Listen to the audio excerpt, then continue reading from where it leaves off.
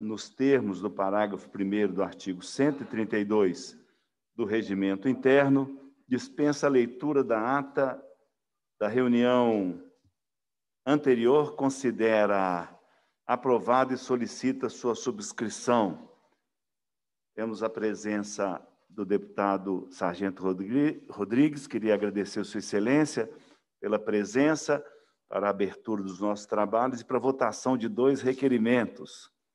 Está passando por São Lourenço e em São Lourenço nós temos uma nova linha ferroviária, não é o Expresso das Águas, a BPF, com Bruno Sanches aí. Muito obrigado, deputado Sargento Rodrigues. Solicito a Vossa Excelência que aguarde só um momento para votarmos os requerimentos. Eu suspendo os trabalhos por alguns instantes para que tenhamos a presença do vice-presidente Gustavo Mitre para a votação de requerimentos. Relator da Comissão das Ferrovias.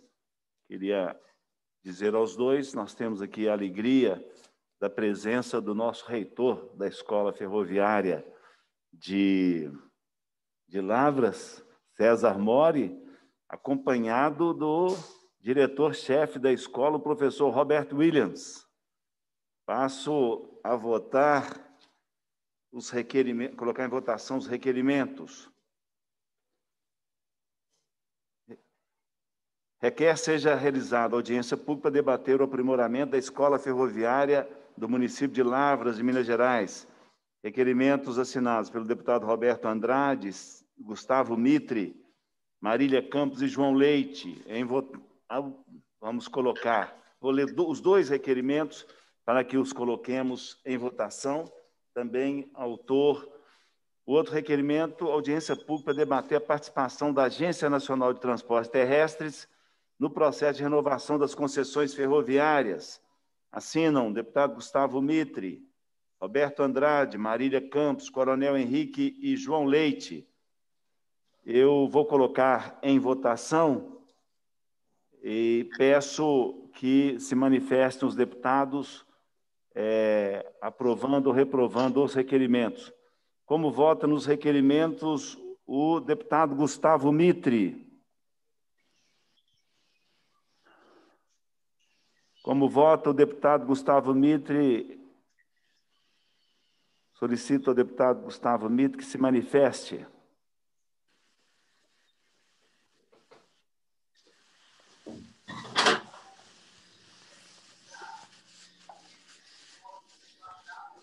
Como vota o deputado Roberto Andrade? Voto sim, presidente. Obrigado, deputado Roberto Andrade. Deputado João Leite vota sim. Como vota o deputado Gustavo Mitre nos requerimentos? Eu voto, eu voto favorável. Eu voto favorável. O sinal está tá ruim.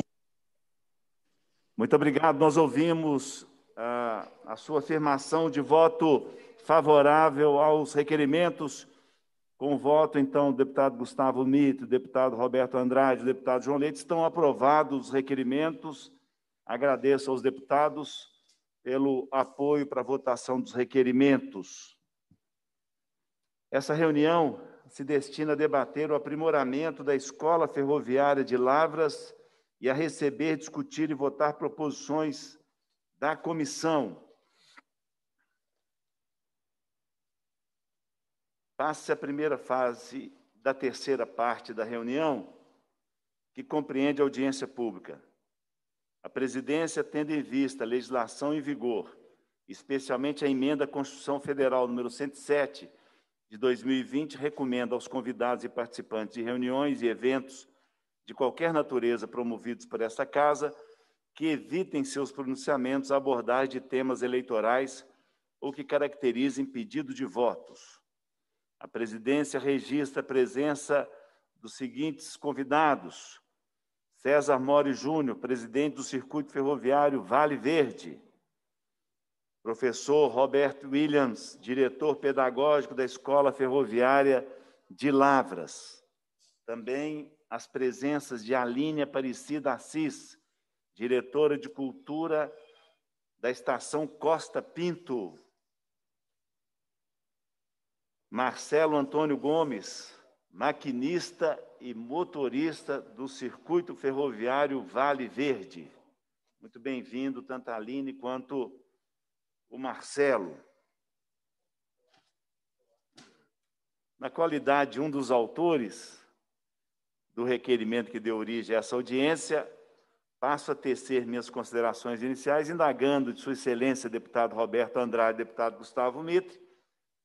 Estarão abertos os microfones de Suas Excelências, se desejarem fazer encaminhamento do requerimento é, que possibilitou essa audiência pública, e Vossa Excelência também são autores deste destes requerimentos. É, é só é, solicitar que eu conceda a palavra. Eu queria, como autor desse requerimento, e tive a oportunidade de conversar, professor Roberto Williams e todos que acompanham essa audiência, tive a oportunidade de conversar longamente hoje com o nosso querido César Mori. O César continua sendo aqueles ferroviários presentes pegou o trem noturno em Lavras para chegar tão cedo aqui, madrugou aqui na Assembleia Legislativa, sempre tão comprometido com a causa ferroviária e a construção da Escola Ferroviária de Lavras. Muito obrigado pelo seu esforço. Registro também, não é? é a, a presença da Aline, diretora de cultura, empenhada também do nosso maquinista, Marcelo Antônio Gomes, né? Muito obrigado por todo o esforço que vocês têm feito para a retomada ferroviária. Outro dia, César Mori mandou para mim um, um, um, filme antigo de Lavras. É impressionante. É de, de São Paulo. É de São Paulo. São Paulo, São Paulo momento ferroviário que nós é, vivemos no Brasil e que agora perdemos, mas nós temos muita esperança em pessoas como o César Mori e seus companheiros, sua companheira de trabalho. Também é, queria dizer da alegria de termos o professor Roberto Williams, esse mestre ferroviário, não é? E que é, adotou Minas Gerais para é, é, emprestar todo o seu conhecimento. Eu queria agradecer ao deputado Sargento Rodrigues. Dois recrutas entraram aqui, deputado Sargento Rodrigues. Nós votamos os requerimentos. Quero agradecer a presença permanente do deputado Sargento Rodrigues, com a Comissão de Ferrovias, sempre atento. É, ah, deputado Sargento Rodrigues, conceda a palavra Vossa Excelência. Está é, tá aberto o seu microfone. Muito obrigado pela sua atenção, presteza. Sucesso aí na sua viagem. O senhor tem a palavra. Bom dia, Lúcio, presidente, caríssimo presidente, deputado João Leite. É uma honra poder é, ingressar aqui na Comissão de Ferrovias. O trabalho que Vossa Excelência vem fazendo à frente dessa comissão é digno de elogio e de reconhecimento por todos nós, deputados e deputadas desta casa. Quero dizer a Vossa Excelência que no momento que Vossa Excelência me solicitou, eu passava pela nossa belíssima cidade de São Lourenço, com destino à cidade de Baipendi, São Lourenço, o Sargento de Paula, Vossa Excelência que eu conheço também muito bem.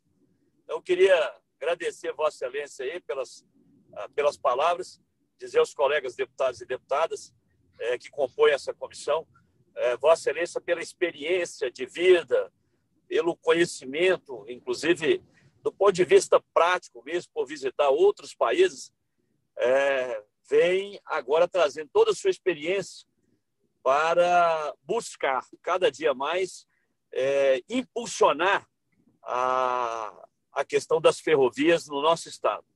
Então, a Comissão de Vossa Excelência está de parabéns por levantar um assunto tão importante no estado do tamanho do nosso, gigantesco, onde o transporte, através da, é, é, é, da utilização é, da ferrovia, seja transporte coletivo, de carga, e também na prática do turismo, pode ganhar muito. O Estado pode ganhar cada vez mais. E Vossa Excelência tem sido um baluarte nesse assunto. Queria apenas deixar aqui registrado essas palavras. Estou chegando nesse momento na cidade de Baipendi, onde vou reunir aqui com o pelotão da Polícia Militar. E vou deixar aqui um abraço ah, aos companheiros da Polícia Militar aqui, é, através da sua pessoa, vou deixar aqui lembranças do deputado João Leite aos companheiros da Polícia Militar de Baipendi. Parabéns a Vossa Excelência, e se Vossa Excelência quiser me chamar a qualquer momento, pode me chamar, que eu estarei de prontidão para atender aí a recomposição do coro e a votação dos requerimentos. Vossa Excelência tem o meu respeito e a minha continência, minha honrosa continência. Um abraço.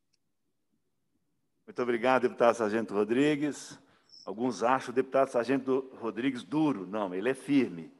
Ele é firme e presente o tempo todo. Muito obrigado pelo seu apoio permanente aos trabalhos desta comissão e o trabalho brilhante que Vossa Excelência faz à frente da Comissão de Segurança Pública da Assembleia Legislativa e nessa semana realizando uma audiência histórica na Comissão de Segurança Pública e que culminou com a, a, o envio da Delegacia de Homicídio Especializada de Homicídios de Belo Horizonte para é, patrocínio, para que pudesse ser feita a investigação totalmente isenta, imparcial, da execução do candidato a vereador Cássio Remes, da cidade, com 37 anos, da cidade de patrocínio. Parabéns a Vossa Excelência, essa é uma conquista da justiça em Minas Gerais, ter essa isenção na apuração lá em patrocínio. Queria também registrar com prazer nessa sala a presença do deputado, membro dessa comissão, Coronel Henrique. Deputado Sargento Rodrigues, leve o nosso abraço à, à garantia dos direitos fundamentais de Baipendi da região, nosso pelotão, brilhante pelotão da Polícia Militar. Leve um abraço de todos nós. Sucesso na sua viagem. Obrigado, deputado João Ah, um bom dia. Bom dia. Bom dia. Eu queria, então, dizer da nossa satisfação de receber o César Mori, o professor Robert, a Aline e também o Marcelo, e dizer e elogiar o que o César Mori, com todos esses companheiros, tem conseguido em Lavras. É, sem dúvida, um exemplo para o nosso país o que Lavras tem conseguido. Nosso querido César Mori, com muita garra, com muita determinação e conseguindo algo que é fundamental, que até hoje na retomada ferroviária não havia, ele tem feito um diálogo um diálogo que ultrapassa a, as divisas de Minas Gerais, trazendo um especialista como o professor Robert Williams para estruturar é, essa escola modelo ferroviária que nós teremos em Lavras, será um modelo para todo o país. E, para além disso, buscando entendimento permanente com a Assembleia Legislativa, com o governo do Estado, com as empresas, com é, as empresas concessionárias, a empresa concessionária da região, com os empresários, como o nosso Kleber Paiva, não é? E o César Mori tem dado um exemplo de diálogo, e esse diálogo tem proporcionado um crescimento muito grande é, da nossa escola ferroviária de Lavras e uma expectativa altamente positiva do, do que acontecerá em Lavras. Eu compartilhava mais cedo, é, quando nosso César Mori apiou do trem aqui em Belo Horizonte, conversava com ele sobre a reunião de ontem. O vice-governador Paulo Brant assumiu é, com muito carinho a questão ferroviária do Estado de Minas Gerais. Junto a ele, o coronel Guedes, assessor especial do governo também, e criar uma mesa com a presença da FIENG, a presença da, da, da superintendente ferroviária, doutora Vânia Silveira, com a presença né, da FIENG, SESI, SENAI, o deputado Glaicon Franco, majoritário na região de Conselheiro Lafayette, prefeitos, 43 prefeitos da região, o DENIT e 15 empresas que é, compõem o consórcio, consórcio minero-metalúrgico da região de Conselheiro Lafayette, SEBRAE, SENAC, SEST Senat, todos nesta mesa, na vice-governadoria, discutindo a escola ferroviária de Conselheiro Lafayette. O DENIT, ele disponibilizou o, o espaço, havia no momento uma grande incredulidade, será que vai acontecer? E acabou, depois de cinco reuniões, nós chegamos no momento agora de é, exatamente dimensionar né, os custos, um número de alunos nós já temos, aproximadamente mil, e a coisa mais impressionante, professor Robert e, e caríssimo César Mori, que nós descobrimos que a demanda é monumental. A demanda pela mão de obra ferroviária é monumental nós temos uma carência histórica de soldadores na região de Conselheiro Lafayette, de especialistas em movimento de cargas, logística. O SEST Senat, nesse momento, tenta comprar um terreno na região para implantar lá um posto do SEST Senat. Então, tudo isso, na verdade, é, poderá ser agregado nessa estrutura não tão grande quanto a estrutura de Lavras, mas que permitirá recepcionar todos esses atores. Algo impressionante também que foi conversado ontem é que nós queremos trazer para essa escola ferroviária de Conselheiro Lafayette também a educação. Ora, imaginem que o Estado de Minas Gerais, as 43 prefeituras, obrigatoriamente, por pela Constituição, tem que investir do orçamento do Estado e dos municípios 25% na educação. Então, nós temos que reunir também a educação pela demanda de formação é, para o trabalho. Formação para o trabalho, que é fundamental. Então, depois do César Mori, convidar o professor Robert Williams e dar o chute inicial para a histórica escola ferroviária de Lavras, Conselheiro Lafayette agora copia esse trabalho dos senhores e com o apoio fundamental do governo do estado, do vice-governador, da superintendente ferroviária, eles avançam já para um projeto físico de execução da criação dessa escola e com diversos braços, é? com grandes possibilidades. Então, eu passo as mãos do César todos esses contatos feitos, mas dizia para ele que nós deveríamos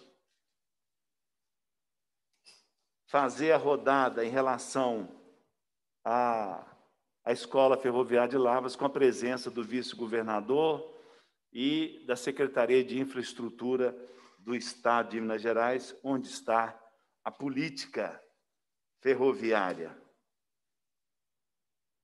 Eu queria, então, com muito prazer, e agradecendo a presença, vejo que o Coronel Henrique está acompanhando.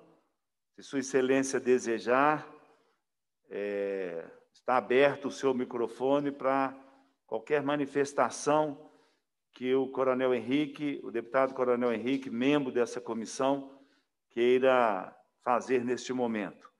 Mas, de qualquer forma, em qualquer momento que o deputado Coronel Henrique desejar, ele tem a palavra pela ordem.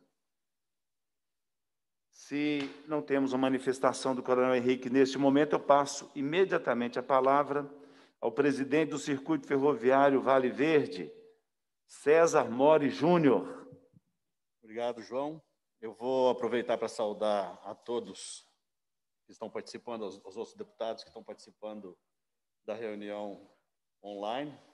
Saudar o professor Roberto, que vai participar daqui a pouco, e dizer que eu fico muito feliz com a sua iniciativa, sempre, sempre atuando, sempre trabalhando para que as coisas comecem a, a se conjuminar dentro de um propósito, que é aquele que a gente sempre busca. E, para mim, isso é crucial, porque o que a gente está fazendo, na verdade, é para deixar um legado. É um legado para a cidade e para o país, porque as escolas profissionais elas foram muito importantes no passado formaram pessoas, pessoas que se tornaram homens dignos, homens e mulheres dignas do, do, do país. E é uma geração que já está indo embora. E a gente precisa pensar nas gerações futuras. E às vezes a gente olhando para o passado, a gente a gente está atuando no futuro. E é exatamente isso que a gente faz, voltando os olhos para o passado para tentar construir um futuro diferente. E as escolas profissionais, elas têm esse papel. Mas eu primeiro, eu vou fazer uma pequena apresentação de um pouco de coisas que a gente já adquiriu nesse tempo, coisas que ainda não foram ainda é, é, homologadas ainda, mas já estão com a, com a, gente, até por questão de, de preservação mesmo, né? E ali tem um guindaste, um guindaste Orton, tudo isso é, é fruto de uma parceria com a, com a VLI, que tem confiado na gente, que tem acreditado no nosso trabalho e tem sido parceira. E esses equipamentos são equipamentos da antiga, da antiga rede ferroviária, são ativos do DENIT, que para eles não tem nenhuma utilidade. Não tem nenhuma utilidade porque já é obsoleto. A capacidade dele é inferior, porque ele é de 68 toneladas, mas para a gente vai ser crucial o trabalho.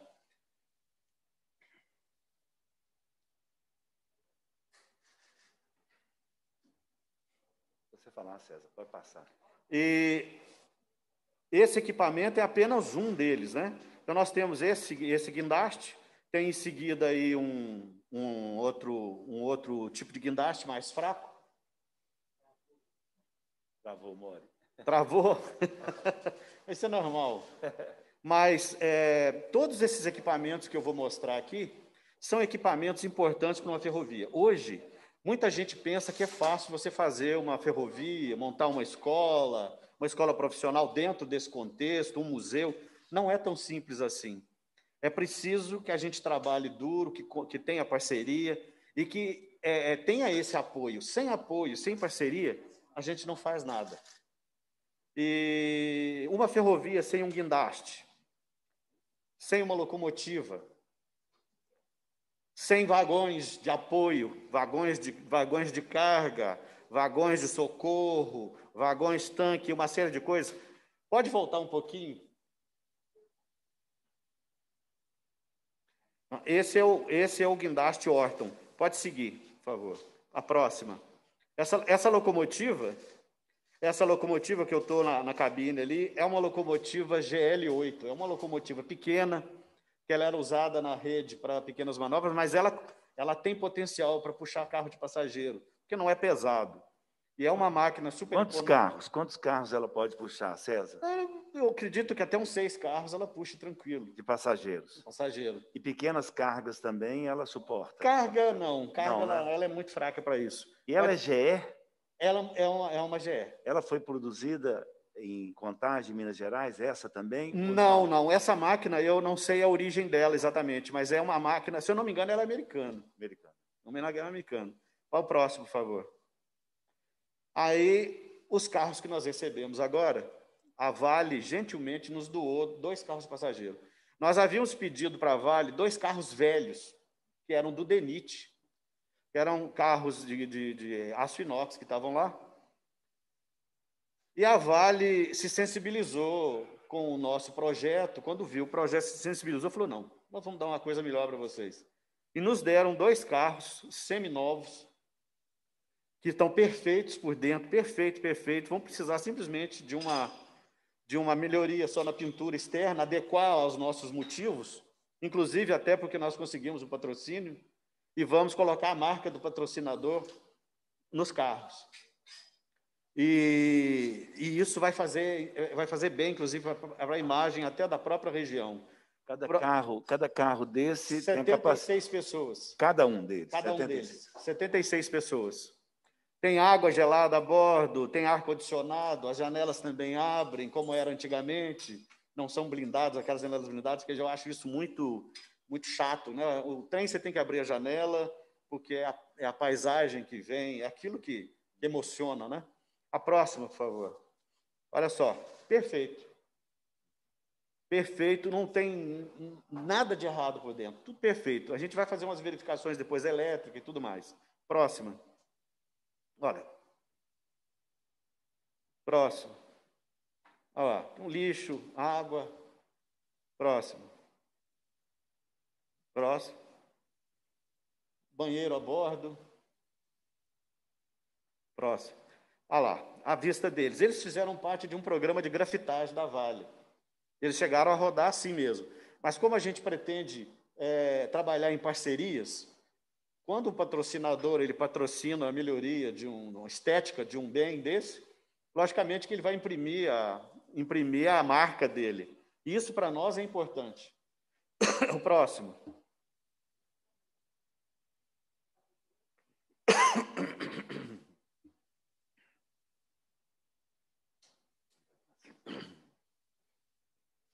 Travou?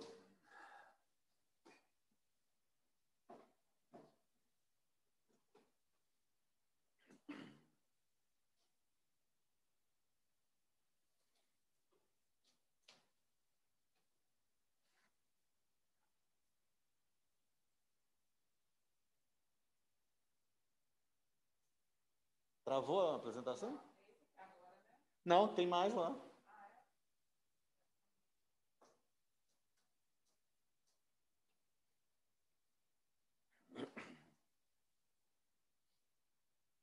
A própria empresa fará a pintura?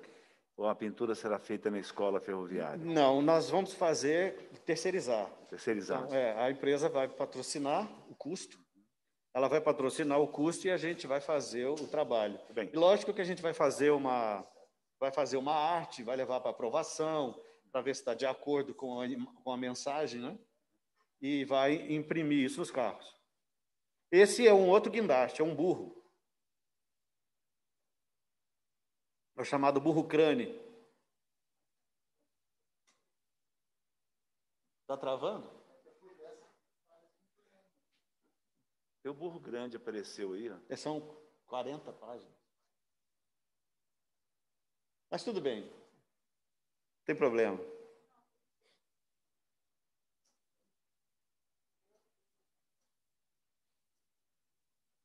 Na escola ferroviária, é, terá também um local de pintura, né? Tem tudo, tudo bem é, é, é estipulado. Uhum. É, não, é, vamos passar para essa, deixa, deixa aquela lá, depois a, gente, depois a gente vê. Esse aqui é a apresentação do projeto da própria escola, o projeto arquitetônico da escola. É, a gente imagina uma escola totalmente é, nova, uma, uma, uma, situação completamente nova. Então, a gente sabe que o, que é, o nosso projeto, desde o início, é um museu-escola, onde a gente vai ter equipamentos como aqueles que eu apresentei, e tem muito mais. São equipamentos que as próprias, os próprios alunos vão poder trabalhar, consertar, desmontar, montar e etc. Pode avançar e fala um pouco sobre a história da estação de Lavras, que vai ser a estação de Lavras, só, ela vai só ser. uma pergunta. Está assinado por arquitetos? É uma arquiteta que fez o. arquiteta trabalho. que fez. Só dar o crédito para a arquiteta e para os arquitetos. Pode colocar no início, por favor, só para a gente dar o crédito para. Ah, obrigado. Aí, ó. Ana, Ana Paula, Paula Tiago Avelar e Estela Souza, Souza, né? Muito bem. São pessoas fantásticas. Fizeram um trabalho incrível. Pode avançar mais um, por favor. Aí. Esses são os galpões, são o complexo ferroviário de Lavras, né? Então, aí são os galpões, aonde vai ser implantada a parte do museu, naquele galpão menor, e a escola, no galpão maior. A área de fora, onde tem aquelas arvorezinhas, aquelas telhadinhos ali, é uma área de convivência. Então, é uma área menor. E aquele de telhado branco que está entre os dois é o museu, onde serão colocadas peças pequenas. E do lado de cá, onde está aquele verde ali, era a ideia que deram era a gente fazer uma biblioteca, mas infelizmente não é possível desmontar uma oficina de locomotiva. Essa oficina de locomotiva é importante para o complexo e para o projeto da escola. Então a gente vai fazer essa biblioteca dentro de um vagão, um, alguma coisa assim, fora dali, né? ou no pátio ali. É, pode avançar. Aí dá uma amostra de mais ou menos o tamanho que é, são mais ou menos 27 mil metros quadrados. Ali a ideia que eles davam de, de, de fazer pontes dentro do, do, do, do, trecho onde roda o carretão, mas infelizmente nós não podemos é, desativar o carretão também, porque nós vamos ser obrigados a movimentar peças ali no museu, do lado de cá, né, que vai ser museu oficina. Então a gente vai ter que movimentar. Ele não tem aquelas pontes. Foi só uma, uma ideia, mas está interessante. Uma locomotiva no pátio, à frente dos. Pode avançar. À frente dos galpões, com eles foram fundados, olha lá, 1895. São fantásticos, é uma estrutura incrível. Com esse material veio todo da Inglaterra, de Glasgow, todos desde a Escócia, né? Pode avançar. A estação de Lavras. Hoje a estação de Lavras ela não tem nada a ver com isso que está aí. Essa estação era magnífica, era uma das mais bonitas da região. E o que a gente fez, um projeto, foi para aproximar o máximo possível disso que está aí e fazer a primeira parte do museu aí. Pode avançar. Então, seria assim a estação como a primeira parte do museu, dedicada a audiovisual. Pode avançar. Nesse aspecto. Então, as pessoas teriam um primeiro impacto nesse local. Teria o primeiro impacto nesse local, é, vendo vídeos, escutando algum áudio, vendo fotos, quadros, etc. Pode avançar. Então, um local completamente customizado para isso, para voltar a pessoa no tempo, voltar a pessoa no passado. Fizemos aí uma homenagem à VLI, que tem dado muito apoio, que eu acho justo. E o DENIT, faltou o DENIT, mas tudo bem. O DENIT, ele é o, o, o principal parceiro disso tudo. Pode avançar? Uma vista panorâmica de cima. Olha só que interessante que vai ficar. local é, é bem adequado mesmo para fazer a pessoa voltar no tempo. Ela fica ali sonhando, voltando, imaginando como eram as coisas, desde a época do Chaplin até os tempos de hoje. A pessoa, a pessoa sentar num lugar desse, eu acho que ela deve sonhar mesmo, né? Ela deve sonhar, viajar longe. Pode para o próximo. E ali em si já é a implantação lá da parte da oficina ali e, e, e museu, né, onde vão ficar as peças, e já com visão já ampla da, da adequação interna, pré-moldada da escola. Próximo. Olha lá, a ideia que eles deram das passarelas eram para isso, mas não vai, não vai poder acontecer. Próximo. Ali já tem uma visão melhor,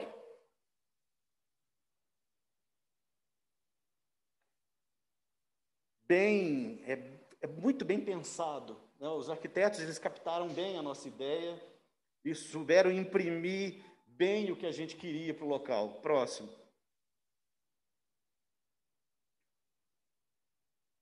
A ideia da escola com salas amplas, abertas, né? área de, de, de, de, de descanso, área de, reunião, salas bem diferentes do, do convencional. Próximo. Ó.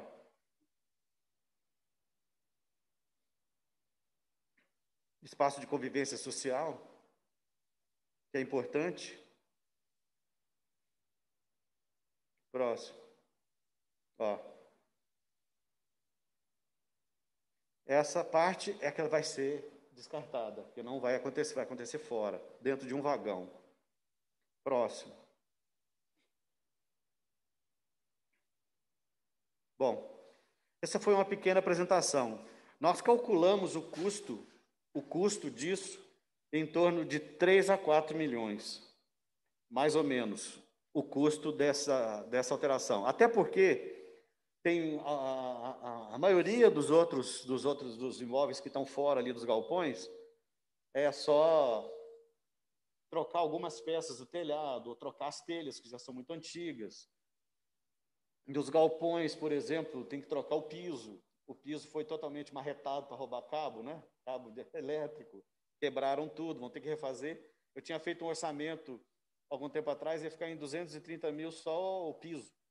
A Santa, a Santa esqueci o nome da empresa lá, Santa Ifigênia, Santa Ifigênia. Eles fizeram um orçamento lá para mim, pronto, eles faziam tudo. E telhado, tem que trocar as telhas, as calhas eram de cobre, eles roubaram todas as calhas. É, tem que fazer a instalação toda elétrica de novo, hidráulica, pneumática, é, esse tipo de, de, de, de, trabalho.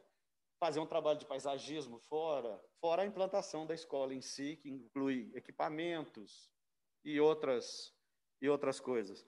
Pode passar a outra, aquela outra, a outra, aquele outro arquivo? É.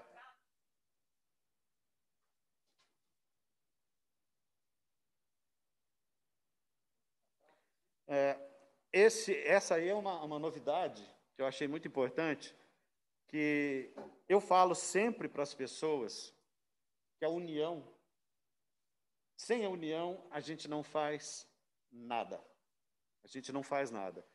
E eu tenho um relacionamento muito bom com a BPF e acho que isso é muito importante. E devido a, a, a necessidades, a coisas comuns que a gente tem, nós fizemos um convênio Circuito Ferroviário e a BPF para trabalhar em conjunto em prol da preservação ferroviária, do, do turismo ferroviário, e eu acho que a gente só vai ganhar com isso.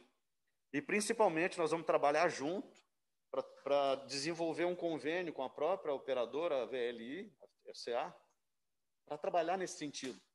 E eles viram isso com bons olhos, acharam muito interessante a nossa iniciativa e nos parabenizaram por isso porque é uma iniciativa ímpar, uma coisa ímpar que ainda não tinha é, acontecido.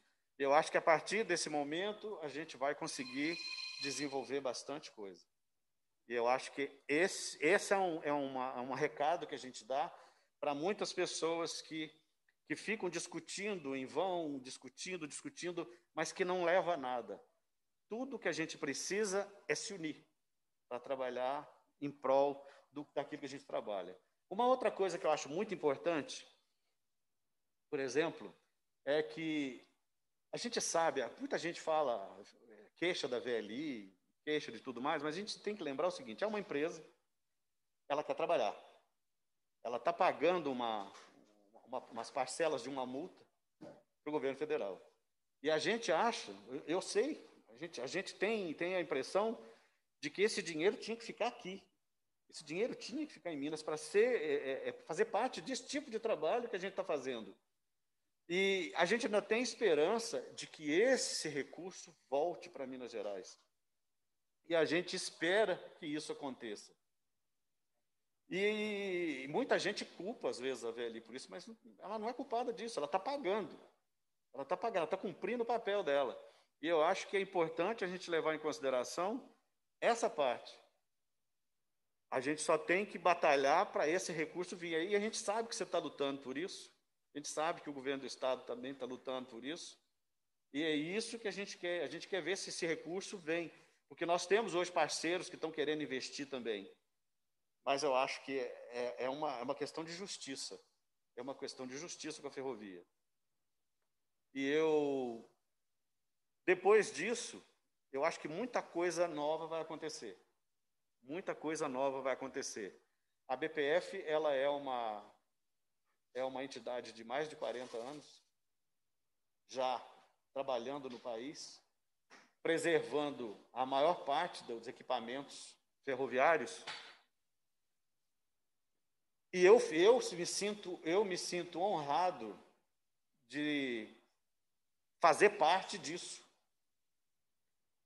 porque uma entidade dessa, com a experiência que eles têm, aceitar eu humildemente, pequeno, a fazer um convênio assim para trabalhar com o mesmo objetivo, para mim é uma honra fazer, é, é, é ter isso é, é um feito. Isso é um feito para mim. E eu espero que as outras pessoas copiem. E eu lamento que a, a apresentação, de, a primeira, tenha dado problema, porque tinha muita coisa para mostrar. Mas. César, você mostrou para nós uma locomotiva, inclusive ela tem uma limitação assim em relação à carga, mas. Ela é uma, era uma locomotiva manobreira, ela é uma uhum. locomotiva fraca. Uhum. Ela não é para puxar carga, mas ela pode puxar carros de passageiros leves. Ótimo. Né? É claro, tem um, um papel importante, né? E também como patrimônio, é, o circuito ferroviário Vale Verde faz um para Minas Gerais um, um, presta um grande serviço, porque está preservando algo da nossa memória fundamental. A pergunta é se você tem mais locomotivas. Na verdade, eu tenho mais duas dessa. Eu, eu agora, esse tempo para trás, eu, eu, eu fui fazer uma visita lá e tal, porque eles me permitem isso, e lá ver o que, que a gente tem é, interesse e tudo mais, previamente. A gente faz esse levantamento. Aí eles vão ver se é possível, se não é possível e tal. A gente ainda tem ainda uma locomotiva tipo essa que está em Gruçaí, que deve vir para nós, mas essa já tá, já deve vir já. É uma U5B, já está pintadinha igual essa daí. E ela deve vir para lá, mas, mas também é pequena. Ela é mais para vai fazer ela vai fazer vai fazer parte do museu, na verdade, vai ser atração do museu. Ela é pequena, ela não tem capacidade para fazer um, um, trabalho pesado, mas ela, como atrativo do museu, ela é excelente. E tem mais duas GL8 igual aquela ali. Duas GL8 igual essa, funcionando. O Marcelo teve lá comigo, nós, nós entramos nela, funcionando perfeito, mas elas ainda não foram é, é, é, deliberadas, ainda não estão né, disponíveis para isso. Então a gente está aguardando. Mas fora isso, a gente tem mais equipamentos. Tem um vagão tanque, ferrovia, sem guindaste, sem locomotiva, sem vagão de socorro, que a gente também está conseguindo alguns. É o vagão onde vai o compressor, que alimenta de eletricidade os carros de passageiro, e vai ali o pessoal de apoio, os carros dormitório de, de, de via permanente que vão junto com guindaste, com as pranchas.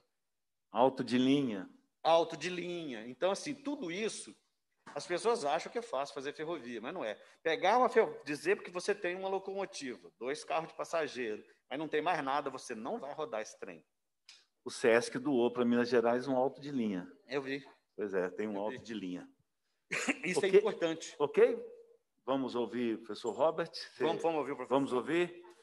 Vamos ouvir, então, esse benfeitor de Minas Gerais, esse benemérito, o professor Robert Williams, diretor pedagógico da Escola Ferroviária de Lavras, agradecê-lo muito pela presença, pelo, pela contribuição que o professor tem dado para Minas Gerais. Muito obrigado. O senhor tem a palavra, professor Robert Williams. É, bom dia, João Leite. Está ouvindo bem? Ouvindo muito bem, professor. Eu primeiro quero agradecer e reconhecer a sua Você é uma referência aí na Ferrovia Nacional, não é só para Minas Gerais.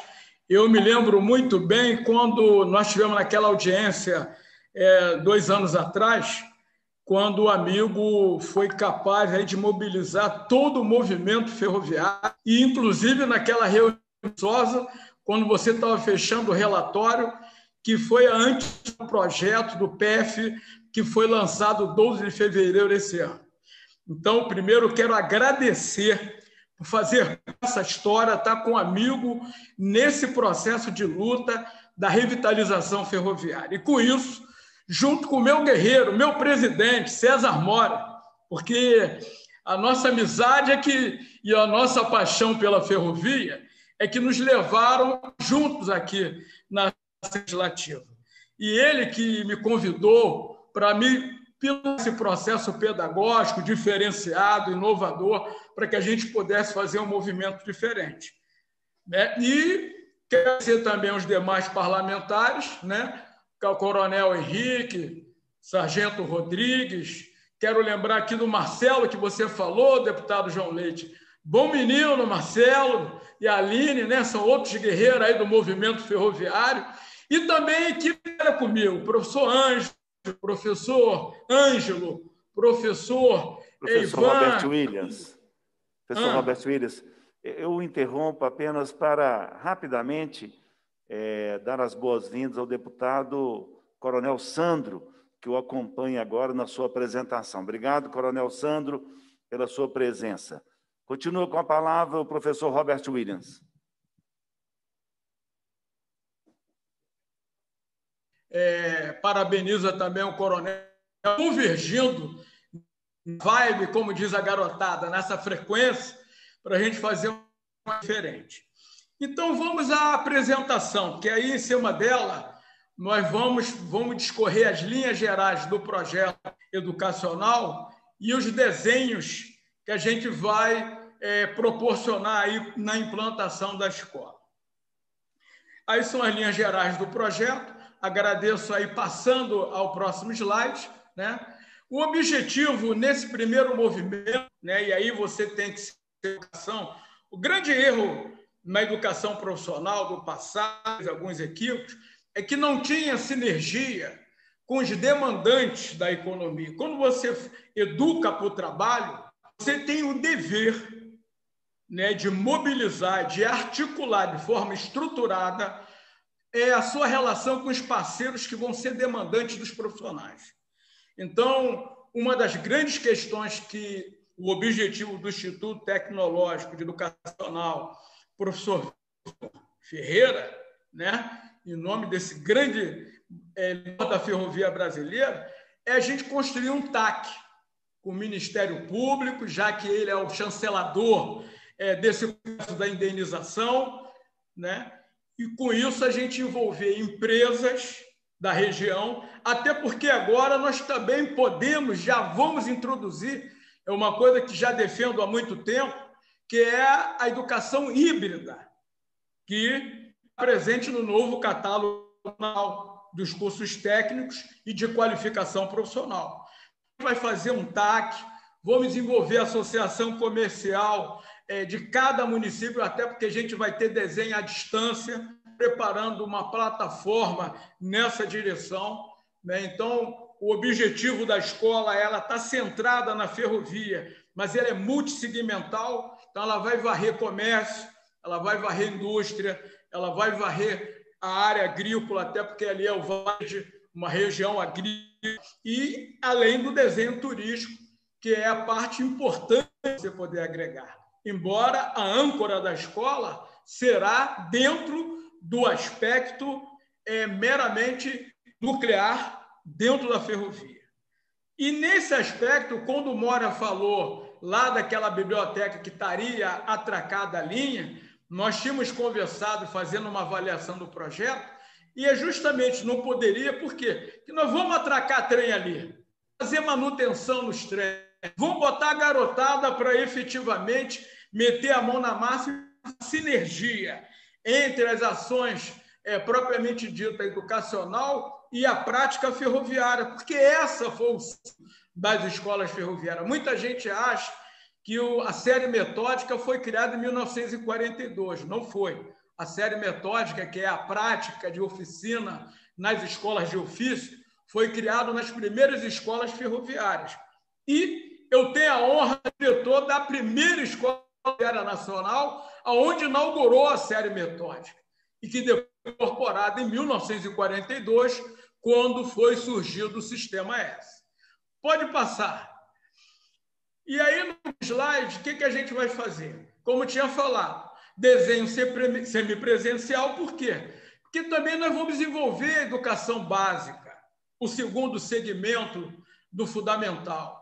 Né? Vocês se lembram do antigo ginásio industrial, né, que é movimento no segundo fase do, do primeiro, do, que hoje se chama fundamental, segmento, e que, não, que hoje não tem desenho profissionalizante nenhum, e nós vamos fazer uma parceria com o município, no sentido de poder fazer, no contraturno, oferecer cursos para garotada, respeitando, lógico, a legislação que implica em segurança de trabalho e de insalubridade conforme a faixa etária, os critérios científicos da Organização Mundial do Trabalho. Passando. No outro ponto, a gente vai também trabalhar, e é, aí é um sonho e um trabalho que o César Mori já faz, que é com os, os infratores de baixa periculosidade, né? porque vocês sabem muito bem que o problema no crime no Brasil, é, na recuperação dos detentos, é que nós colocamos os grandes perigosos organizadores do crime, porque optaram conscientemente pelo crime, com punguista, o cara que roubou uma carteira, um celular e tal. E isso não, é, não traz, na verdade, é uma recuperação do detento. Pelo contrário, entra como batedor de carteira e sai como aprendiz de organizar sequestro e roubar banco. E por que isso? Porque a gente não oferece desenho profissionalizante. E aqueles detentos que já foram oferecidos em Santa Catarina e mesmo no trabalho agora feito pelo César More aí em Lavra, você vê a realidade quando se dá oportunidade, quando se coloca é, para essas pessoas efetivamente um desejo de oportunidade, articulando com empresas cidadãs, né? porque aí vamos envolver o Ministério Público para fazer o TAC com essas empresas para poder ressocializar essas pessoas, a gente tira essas pessoas do crime organizado. E só pode do crime organizado quando se essa oportunidade. Agora, não é caridade. É aí que eu vou três questões técnicas importantes.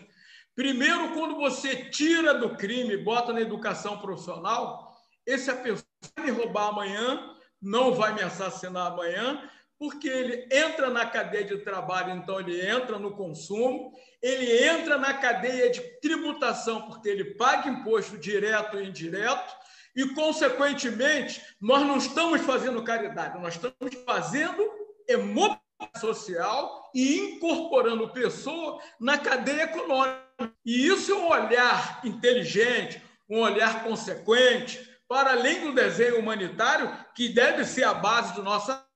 Mas essas três consequências: colocar a pessoa na cadeia econômica, consumindo e no trabalho. Então, ele não vai me assaltar lá na frente. Dois, ele vai pagar imposto direto.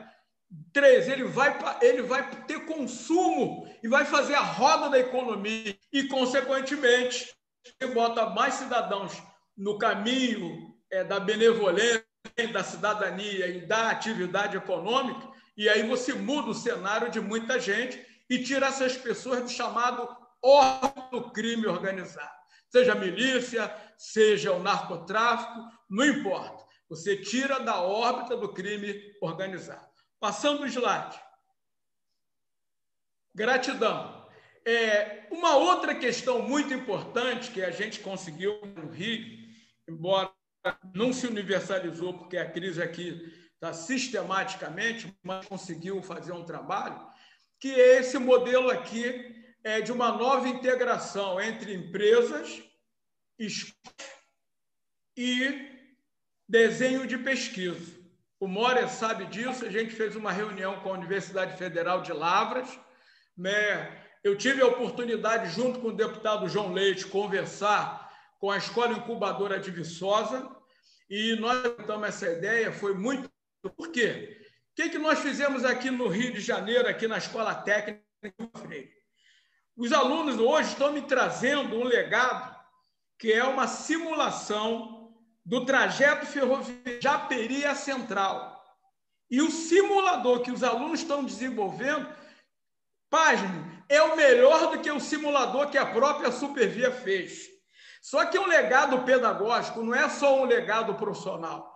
Ele vai ajudar os alunos que estão nas mas ao mesmo tempo é um legado profissional, porque ele permite os estudantes trabalhar as simulações do trajeto e o conjunto do processo é, do movimento ferroviário no transporte de massa. E qual é a grande contribuição? Esses alunos que estão apresentando o projeto, eles montaram um robô para analisar o trem aqui da Supervia. Eles botaram um robô para olhar a parte da refrigeração, empresa com desenho de simulação, com gabinete inteligente. E aí entra esse modelo. As empresas apresentam o sinistro a ser resolvido a custos mais baixos com os centros de pesquisa, Universidade de Lavra, seja a Universidade de Viçosa, né, para desenvolver uma solução científica. Então, você envolve a universidade em movimentos práticos, em desafios concretos das empresas, mais um custo competitivo. As escolas, no caso de Lavras, acompanhar com os professores e alunos no sentido de poder entrar aquele conhecimento dedicado, diferencial para as transformações da empresa e, consequentemente, vai agregar para o currículo do aluno que eu chamo de conhecimento tácito, né? o conhecimento formal. Por quê? Porque nesse conhecimento tácito, os alunos, os professores, nesse desenvolvimento da solução científica e técnica, vai efetivamente a quase que tempo real os sinistros concretos que estão, é, estão acontecendo nas empresas. Exemplo, a Supervia agora está com um problema na área de manutenção é, da via aérea, parte elétrica, os cabeamentos que alimentam o trem no sentido popular, né? são os alimentos pantógrafos na parte superior do trem. Só que tem, acontece o seguinte: eles têm novas tecnologias, colocaram novas tecnologias, mas entre trabalhadores, três fala e dois efetivamente fazem intervenção, porque não há as mudanças tecnológicas desse processo. Com isso, nós vamos ter cursos dedicados e de atualização empresas e também para os alunos da escola, será remunerado para a instituição no sentido de traduzir em equipamento, material de consumo e agregando para os alunos e para os professores e para a instituição, que nós vamos fazer de forma diferenciada. Terem uma ideia, todos que estão presentes e assistindo a audiência, é, isso é tão relevante, relevante que 85% das pequenas e médias empresas, seja na área de serviço, seja na área industrial, seja na área de turismo, precisam de desenho de atualização de cursos dedicados para que os seus negócios tenham uma maior performance. Só que o desenho oferecido no mercado é caro, é muito caro e não é atendido. E nós vamos oferecer a custos ativos para trazer, agregar conhecimento das experiências e dos sinistros dessas empresas, porque esses desafios agregam conhecimento, mas ao mesmo tempo vai permitir realmente atender a necessidade das empresas até no movimento do empreendedorismo, porque nós vamos fazer a parceria com a Associação Brasileira do Empreendedorismo, que é a garotada no país inteiro, que é o desenho de incubadoras e de startups, que é o grande lance do planeta inteiro, só de forma estruturada. E vou mais longe. É, nós vamos fazer uma plataforma, deputado João Leite, é, demais parlamentares, e a população como todo. É, a gente vai criar um plano de gestão, uma plataforma de gestão para que haja uma conexão com as empresas, terá a data de cada conexão com cada RH de cada empresa, ela vai estar em conexão com a escola, a escola vai mandar o dema, a empresa demandar no sistema, vai encaminhar online com a supervisão e acompanhamento pedagógico e o setor de estágio e trabalho da escola. Porque não é jogar o aluno nas férias e mandar ele fazer entrevista. Não. É chamado encaminhamento qualificado, sintonizado, profissional, no qual o aluno vai ser preparado para a entrevista, ele vai entender o perfil da empresa que ele está sendo encaminhado, ele tem que entender qual o perfil da empresa, qual o público que essa empresa e vai ter esse breche e depois ele vai ser apresentado para a empresa no sistema para que ele possa realmente ser encaminhado para as atividades de trabalho, seja estágio, seja aluno aprendiz, que também será esse dos, do movimento da escola.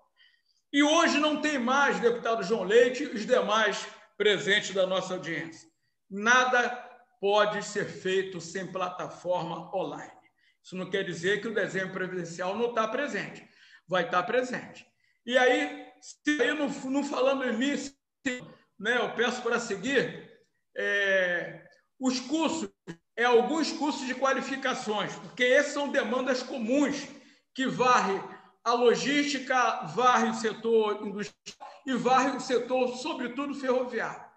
Mas vamos botar inicialmente os cursos de qualificação profissional, são cursos de curta duração, no caso aqui de 280 horas, 20 semanas, e no sentido de poder já fazer a parceria com as empresas e fazer o encaminhamento. Né? Esse vai ser o curso para impactar a escola, para fazer um movimento já é, de ação intensa, mas de curta duração, como diz os sábios, né, para grandes projetos, pequenos, pequenas ações, para que aí você possa começar com pequenos cursos, e aí sim, depois desses cursos implementados, aí vou para o curso técnico em manutenção do sistema ferroviário, o curso de condutor de trem, né? E aí vocês veem a grade, a matriz básica, eletromagnetismo, medidas elétricas, que são comuns tanto para a ferrovia como para a industrial como um todo. Mesmo na área comercial também tem infraestrutura elétrica,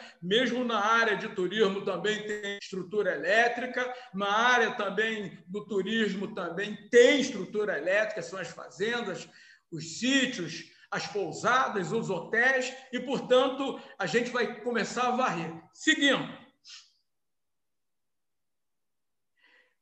De motores, porque ainda está na ainda está na mudança do Ford, a gente tem máquina, carro, temos caminhões, nós temos e vamos preparar a garotada também para atender isso, além do setor ferroviário.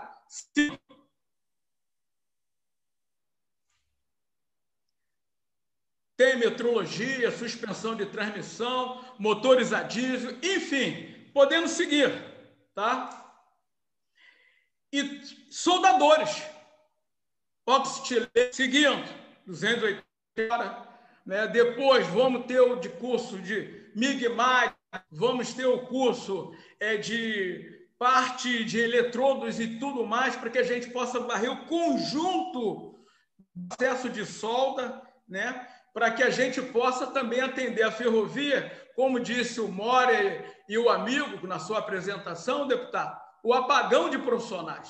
Para vocês terem uma ideia, nós, é, durante 20 anos, nós perdemos 20 escolas ferroviárias quando houve a desmobilização ferroviária no colo.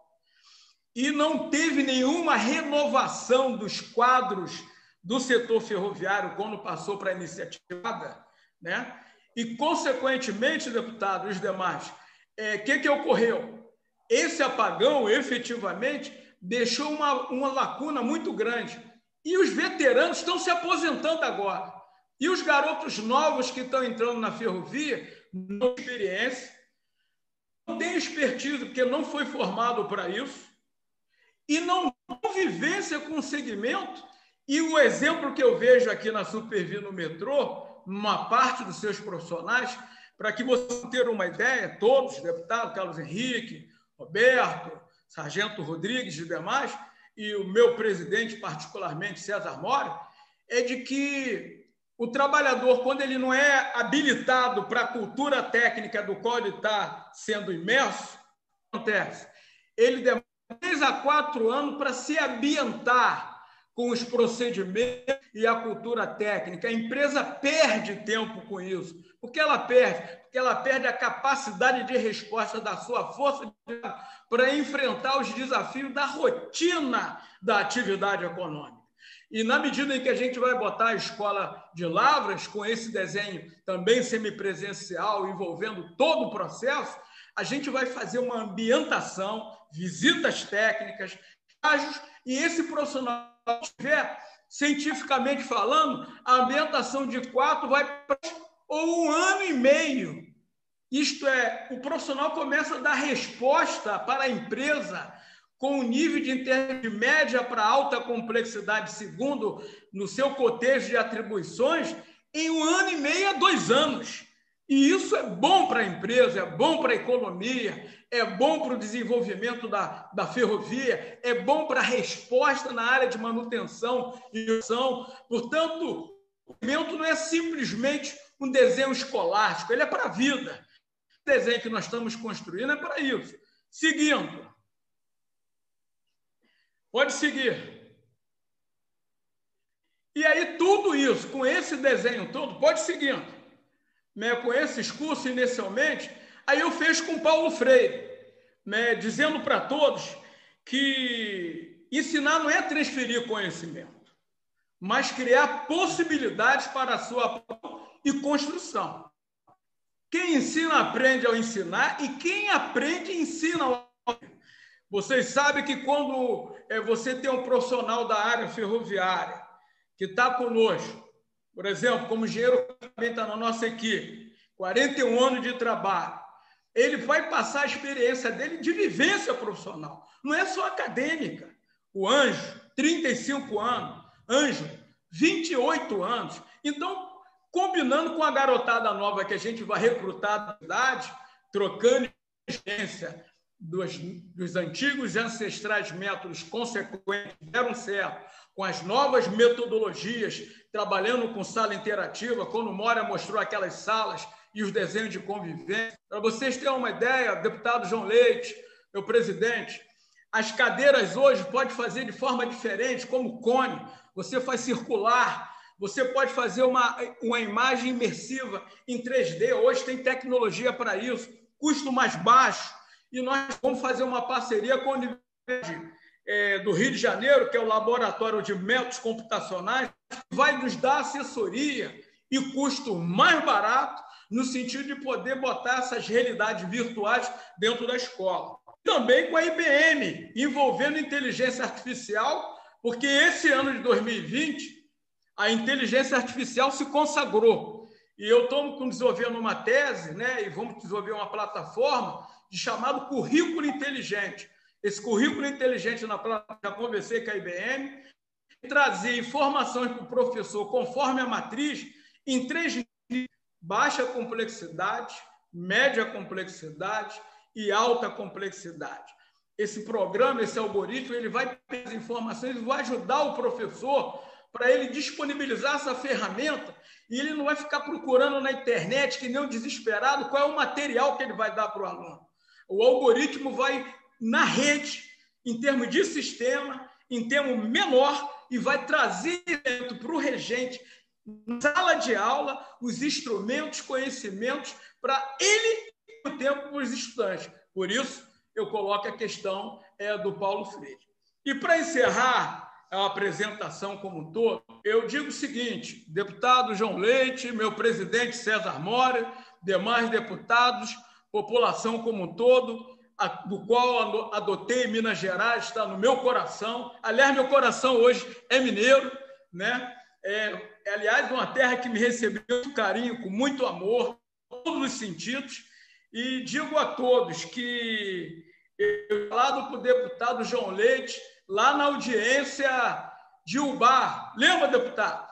Na audiência de Ubá, naquela ainda tensa em relação ao DENIT, a, ao metrô, muitos queriam queria para o impasse, depois a gente fez o caminho do meio do entendimento e consumou no relatório e depois no PF, do qual o deputado é a grande liderança desse processo, é de que conseguiu com isso, né, faz, vai fazer uma escola que possa ser capaz de ter uma gestão profissional naquilo que é assertivo, e traduzir em atendimento ação, mas ao mesmo tempo também uma sinergia operacional com plataformas, com entendimento direto, porque a escola é para a vida, ela educa para a vida e para a vida ela deve relacionar de forma sistemática para poder atender e, consequentemente, alterar esse processo.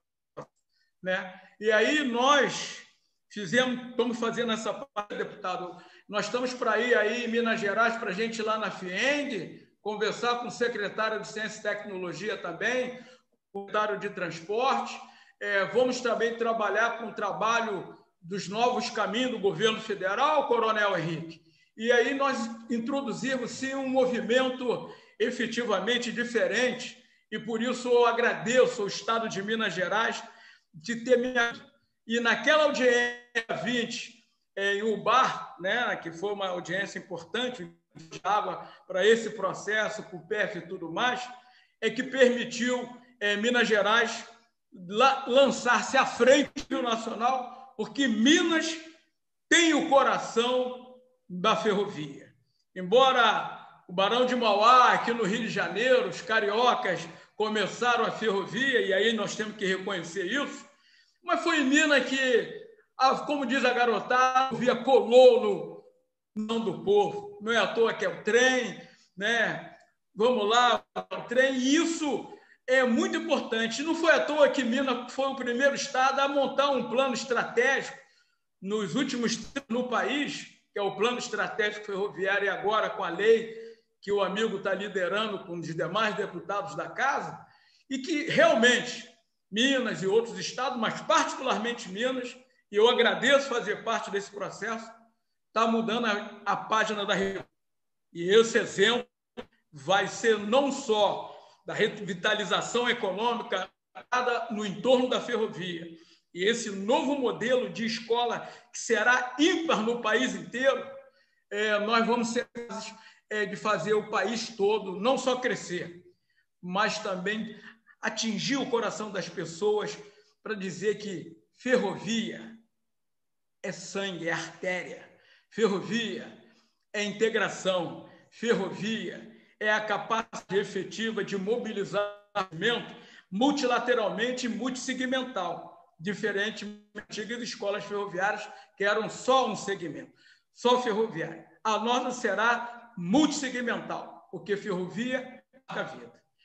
Com isso, me despeço, agradeço o deputado João Leite, agradeço o demais deputado, meu guerreiro César Mora, minha equipe que trabalha conosco, professores e o engenheiro Antônio, Arthur, Camilo, Anjo, Ângelo, Ivan, é, Ângelo, que estão parte dessa equipe que nós montamos pedagógica, e a professora Ana, que está conosco na parte pedagógica, na supervisão.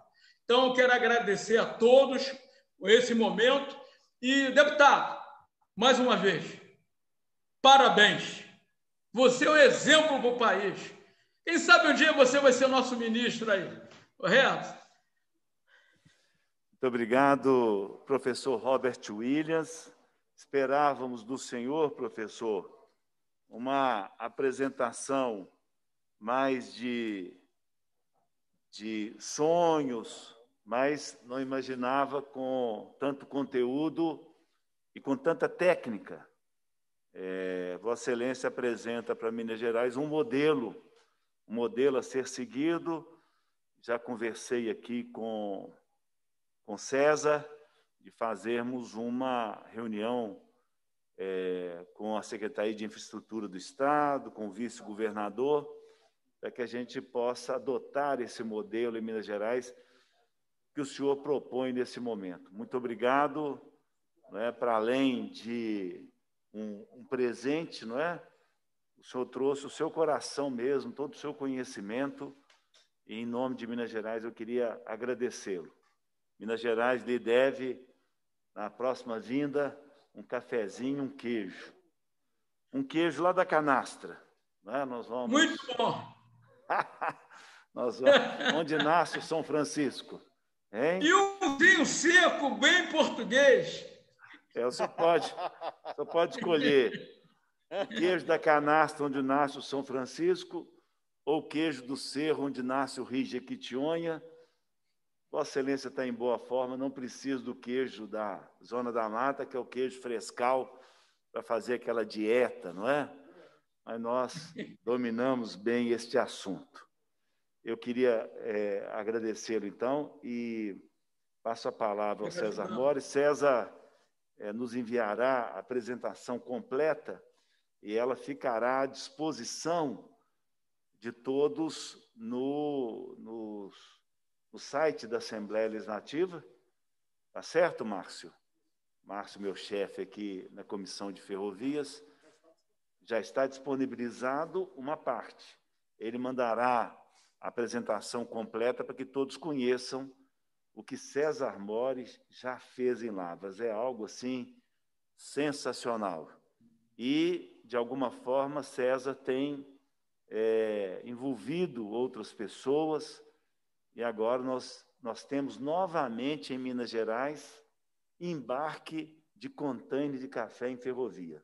Exatamente. 60 mil containers de café do sul de Minas que passavam pelas rodovias, uma carga eminentemente ferroviária e que estava nas rodovias UPO, agora voltaram para as ferrovias, dando segurança para a nossa população. Parabéns, César Mori, um benfeitor de Minas Gerais, colocando as cargas nos lugares corretos. Algumas pessoas dizem, ah, vai dar prejuízo para os caminhoneiros. César Mori já explica. O café não nasce no embarque, o café nasce na lavoura. E quem busca o café na lavoura são os caminhoneiros.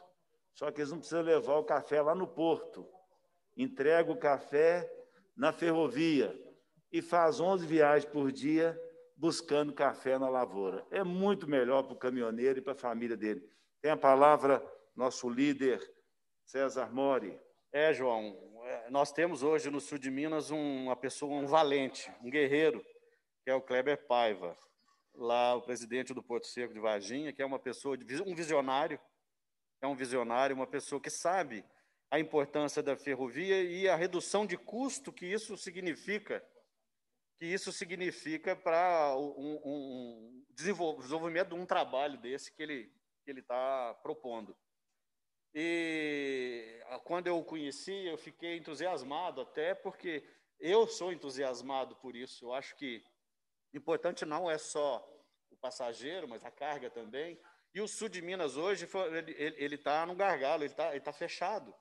E a gente precisa reativar isso. É preciso reativar a ferrovia para desenvolver para escoamento. E hoje, no momento em que o governo do Estado, do governo, o governo do, federal, discute essa questão, o ministro Tarcísio, uma pessoa que eu admiro muito pelo empenho que ele está tendo, discute essa questão de escoamento né, da produção agrícola do país, Minas Gerais está sofrendo com isso. E eu acho que a gente tem que olhar para essa questão, um projeto desse, que é o projeto lá do Porto Seco de Varginha, é, do qual nós, nós, nós somos parceiros, inclusive, a gente está apoiando, né? a gente está apoiando, que é, é importante para nós, o resgate dessa ferrovia. E, e, e não podemos, é, de forma alguma, permitir que continue dessa forma. É importante você, você lembrar que você tem uma ferrovia que vai tanto para São Paulo quanto para, o Rio de Janeiro, para o lado de cá. E essa ferrovia, ela sempre, sempre trouxe é, benefício para Minas Gerais, porque ela integra, integrava Minas Gerais com o resto do país. E é isso que eu espero. Eu espero que o governo federal e o governo do estado, que tem trabalhado muito nisso, empenhem mais para que a gente possa é, colaborar ainda mais para que isso se torne realidade. César, eu queria aproveitar as presenças nessa sala do deputado Coronel Henrique e do vice-presidente dessa comissão, deputado Gustavo Mitre, que abandonou uma reunião lá no sul de Minas para dar coro para votarmos dois requerimentos. Queria agradecer tanto ao Coronel Henrique quanto ao vice-presidente dessa comissão, deputado Gustavo Mitre. Queria lembrar também que o deputado Gustavo Mitre é o eminente relator da PEC 43, que te interessa, interessa ao sul de Minas, porque pessoas empreendedoras como Kleber Paiva poderão criar um consórcio com o Circuito Ferroviário do Vale Verde e operar uma linha. É, nós somos três parceiros, é o é isso. a BPF, Circuito e o, e o Pronto, vocês podem criar um consórcio e operar uma linha a partir da PEC 43. E o deputado Gustavo Mito é o relator dessa matéria, que, com o parecer dele, irá, irá a plenário. Então, o deputado Gustavo Mitre, ele está é, tá, tá na mão dele algo é, histórico, não é? Minas Gerais e o Brasil nunca teve essa possibilidade de empresas ou consórcios operarem trechos. Mas eu aproveito a presença de Suas Excelências. É, indago ao Márcio Coronel Henrique, está logado conosco também? Sim? Está logado, né? Peço então atenção para votarmos dois requerimentos. Relator da PEC 43, deputado Gustavo Mitre. É, nós... Bom dia, João. Bom dia. Bom dia a todos. Muito obrigado pela sua presença, ter deixado a reunião aí para atender a sua Bom comissão. dia a todos. Não Nós sei. Estamos te ouvindo.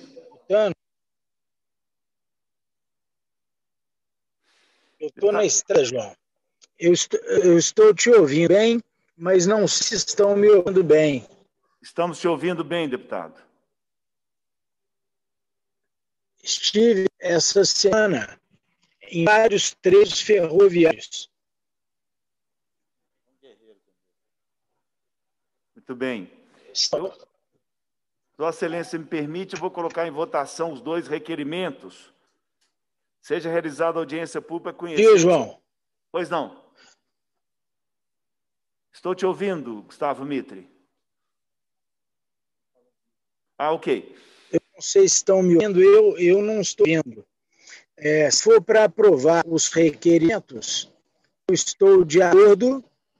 É, últimas estou estrada, por este é o motivo de não estar presencialmente. Eu estou chegando próximo à extrema. Esta semana eu estive novamente no Porto Seco de Varginha, estivemos em Itaiandu, Pouso Alto, São Lourenço, é, e lá no Passa Quatro, onde todos estão ávidos pelo aumento da, do trecho ferroviário do, do trem turístico das águas e das, das altas da Mangueira. É, Três Corações, já se fala também na ampliação do Porto de Varginha, é, devido ao, ao processo, ao nosso procedimento, ao nosso PIF, é, é, que está sendo orquestrado pela fação Dom Cabral. Dom Cabral. Ou seja, estamos no eixo tentando fazer os trens voarem para os trilhos. Muito bem. Deputado Gustavo Mitre, Vossa Excelência, como vota, então, na audiência pública com o DENIT e na audiência pública a realização do terceiro workshop do Plano de Estratégia Ferroviário de Minas Gerais. Como vota Vossa Excelência?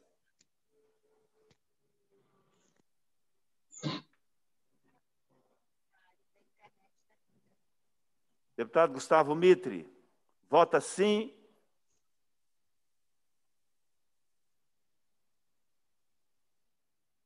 Aprovação, escutando direito. Muito obrigado, deputado Gustavo Mitre. Agradeço a presença nessa sala do membro dessa comissão, o deputado Coronel Henrique. Deputado Coronel Henrique, dois requerimentos em votação. O primeiro é para que seja realizada audiência pública, conhecer e discutir a possibilidade de doação dos bens vinculados a trechos e serviços ferroviários ativados estão sob a guarda e gestão do DENIT. Requer ainda que participe do evento representantes do DENIT, das entidades da sociedade civil e da iniciativa privada do setor ferroviário e da Superintendência Ferroviária do Estado de Minas Gerais. E a outra seja realizada audiência pública para debater o plano estratégico ferroviário e realizar o seu terceiro workshop no ambiente dessa comissão. Como vota o membro dessa comissão, o deputado Coronel Henrique? Bom dia, senhor presidente. Antes de votar, eu gostaria de parabenizar Vossa Excelência pela condução dessa audiência. Um abraço para o professor Roberto Williams, que nos conhecemos em Viçosa. Um abraço para os amigos de Lavras e essa e essa incansável luta para o resgate da nossa escola ferroviária. A gente sempre comenta né, que a educação ela não é a melhor solução, ela é a única solução.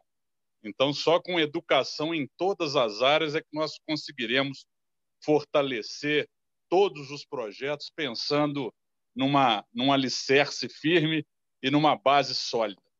Então, prezado presidente João Leite, o meu voto é sim para os dois requerimentos. Muito obrigado.